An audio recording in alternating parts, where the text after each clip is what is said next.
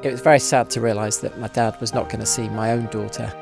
To spend time with him was so precious during those last few days. I didn't want the stories of my father to be lost before it was too late. Some of the tales would never make some blockbuster movie, but for our family, they are the most powerful stories that you could ever remember. That's a really funny writing. It is funny, These isn't it? Let me show you one of the pages. Hello, my name's Neil Coxon, and I'm talking to you from just outside Bath, where I live with my partner Helen and my daughter Mila. When my dad was 80, he was sadly diagnosed with terminal lung illness, and the family came together and looked after him at home. It was during those times when we were trying to have conversations with him that we realised that many of his stories were going to be lost forever. I mocked up a book for him that was a series of questions that asked him things about his life. It brought tears to his eyes as well as mine because he felt how important it was to share things with me and was loving the fact that we'd asked him questions about his life. Probably the most powerful Christmas present I'd ever given him. And two months later, when I got it back, it was the most powerful gift he'd ever given me. My dad was a great storyteller and he used to tell many amusing anecdotal stories, but he was never one to tell you how he felt. And some of the stories he's written in the book started to tell me what was going on inside him. It felt so important to me to help future generations know more about him.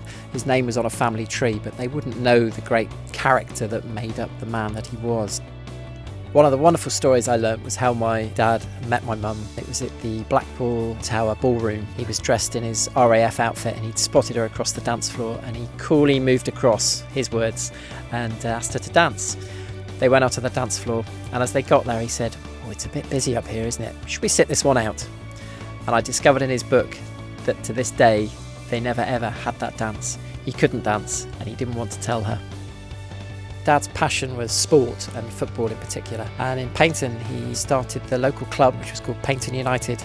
And it was made up in those days of my brother and my brother's school friends. They spent seven years going from Division 6 right up to Division 1 without losing a game, which was quite impressive.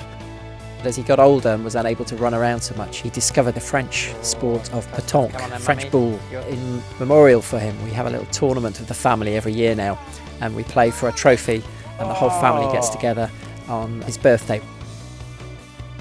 When I got the book back from my dad, I read it, I showed it to family and close friends, and everyone said, That's a really interesting idea what you've done there. But we then thought other people could have some help with this, and we mocked up two versions of a book. Suddenly they sold. People were really interested in the idea of helping their family and their friends and their parents capture their own stories. And it gave me the confidence to leave the corporate world I was in and build a publishing business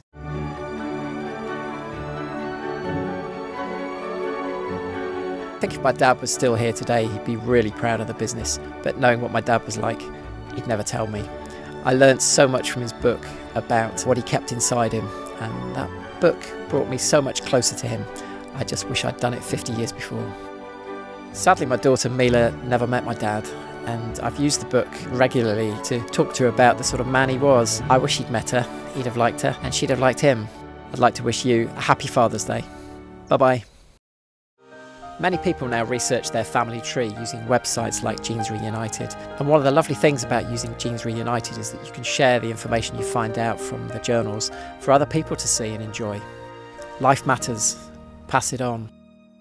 The whole family were Chelsea supporters. My dad saw the first ever game at Stamford Bridge. I find it hard to imagine what my childhood would have been like without Chelsea Football Club. We've always had this sort of long running, long standing joke. You look a bit alike, you have similar interests. You do the same sort of things and you say the same sort of things.